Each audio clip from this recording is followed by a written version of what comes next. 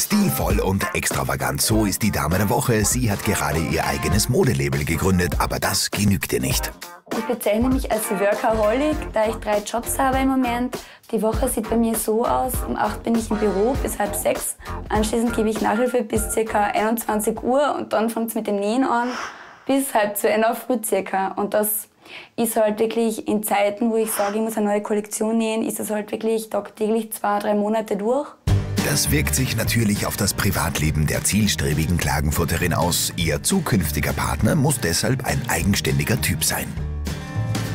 Ich halte total viel davon, wenn jemand sehr zielstrebig ist, sehr selbstbewusst ist, selbstbewusst auftritt. Ähm, was mir noch wichtig ist, dass er mich versteht, dass er tolerant ist und vor allem, dass er zuverlässig ist. Denn die vielbeschäftigte Modedesignerin braucht einen Mann, der auch ihr Ruhepol sein kann.